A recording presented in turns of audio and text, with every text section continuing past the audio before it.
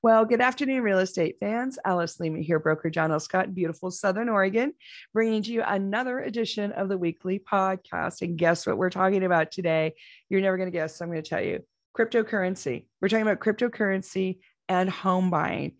And you know why we're talking about cryptocurrency and home buying?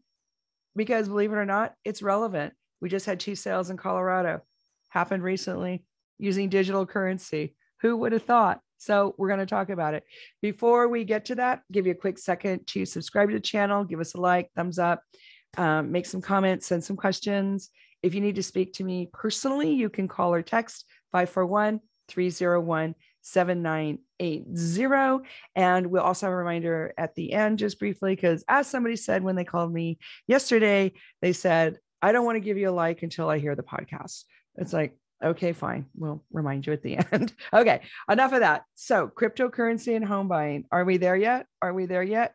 The answer is almost. So, here's what happened two sales advertised in the um, financial news made headlines talking about these sales where the owners of these homes said in their ads they preferred cryptocurrency for the purchase. Now, that alone is kind of interesting and unusual. So, then the next question in my mind is I'm sitting here in Oregon and going, how did they actually pull that off? What did they do? What were the steps? Who are these people?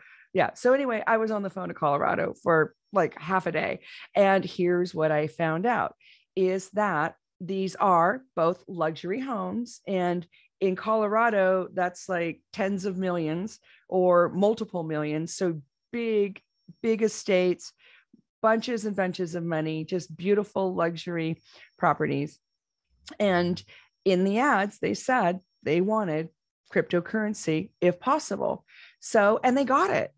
They actually got paid in cryptocurrency. Now, normally when you buy a house, the escrow company collects all the monies and takes care of all the debts. You know, maybe you have a sewer bill or you have an HOA. Um, the real estate agents get paid, the um, the escrow people get paid, and the money also gets distributed to the seller. So normally the title company does all that. So I'm on the phone with five title companies in Colorado going, How did you guys do this? Guess what? None of them did. Here's what they do they take the cryptocurrency and have the buyer send the cryptocurrency directly to the seller to pay off the house. They have both the parties put in money or however it's negotiated. In this case, it happened to be both the parties put in US dollars into the escrow account to pay the sewer bill, the HOA, the real estate agents, the escrow fees, and all that regular stuff. So I thought this was very interesting because the title companies do not want to handle the actual digital currency. And the reason is because the digital currency is volatile and it's new and title companies are really insurance companies very conservative you know they like predictability and every single one of them told me the same thing we don't want to be first it was it was by the time i hung up the fifth call they're playing this no you go no you go no you go. They're all sitting around waiting for some title company to put their toe in the water on this one uh, before they're going to jump. So i think what's going to happen is that either the crypto market is going to get more stable mainstream less volatile uh, because that was the other complaint the title companies have is is I mean when one manager said, "Can you imagine we go into a 30 day escrow and then day 30 the guy doesn't have any money anymore because the crypto market fell apart." Um, and this is interesting coming on a week when the crypto market had a lot of struggles. Uh, the digital currencies are all you know going way down. It looked like they're still worth a lot of money if by my book, but not not as much as they were.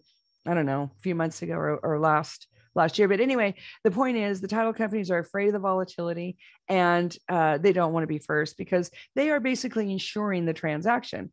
So that all that all made sense. And you know, I did make three more phone calls here to Medford, our local um, local title companies, and they basically the the two that I talked to basically said the same thing: volatility is kind of a turnoff to them and they don't know how they would insure anything. At least the Oregon people did not say, we don't want to be first. I thought maybe, you know, Southern Oregon title companies are a little more stoic, a little more brave. But um, this is kind of the wave of the future. And it's going to be very interesting to see how digital currency does finally get fully integrated into the real estate um, transaction game. Because if you think about it, the platform that these currencies are using is called blockchain.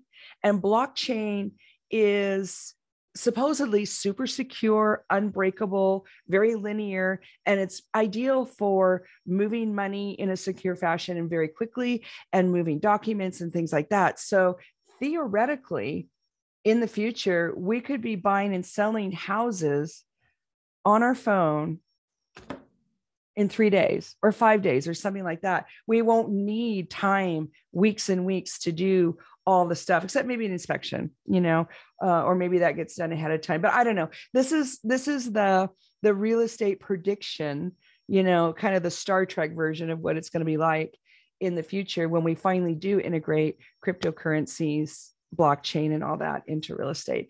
In the meantime, I'm going to be following it very carefully. I don't know of any other transactions except for Colorado. I know there's some in Florida. If you guys hear of anything, if you know people that are doing it, I want to hear about it. I'm absolutely fascinated. And I think it helps for all of us to be ready because if this is happening right now, I don't know about you, but this is way sooner than I thought it was going to be. So let's get ready. Let's get educated and uh, be ready for cryptocurrency because they're not actually doing cryptocurrency in a title company yet, but they are actually using crypto to pay off the seller. The buyer pays the seller directly. So that's already happening. That's a game changer. Okay, so that's our podcast about cryptocurrency and home buying. If you've got any questions, if you need some help with your real estate, I'm around all weekend. My number is 541 301 7980. That's 541 301 7980. Have a great weekend. We'll see you next week. Bye now.